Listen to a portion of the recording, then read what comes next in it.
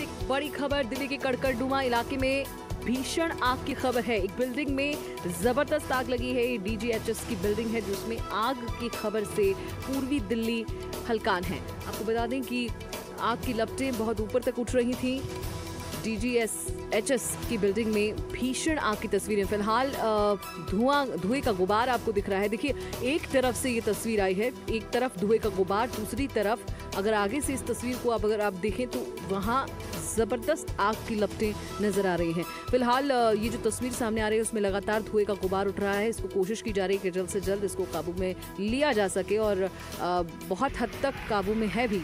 लेकिन कितना नुकसान हुआ है क्या कुछ जानकारी है? फायर ब्रिगेड की गाड़ियाँ नीचे आपको नज़र आ रही होगी कड़कड़डुमा की डीजीएचएस की बिल्डिंग ये पूर्वी दिल्ली की तस्वीर जहाँ लोगों की भीड़ आपको नज़र आ रही होगी।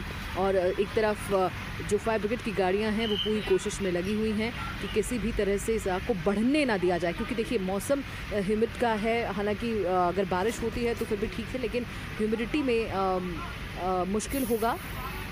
ऐसे में फ़िलहाल जो तस्वीरें आप दिल्ली से देख पा रहे हैं, पूर्वी दिल्ली की तस्वीर, जहाँ डीजीएचएस की बिल्डिंग में ज़बरदस्त आग लगी। आग कैसे लगी है, इसका कारण अभी नहीं पता चल पाया है, लेकिन जो प्रायोरिटी है, वो आग बुझाने की है।